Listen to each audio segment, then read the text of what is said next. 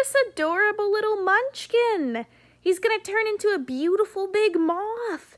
So cute. I'm gonna have to make nectar for him. And he's gonna eat all the tomato plants, aren't you?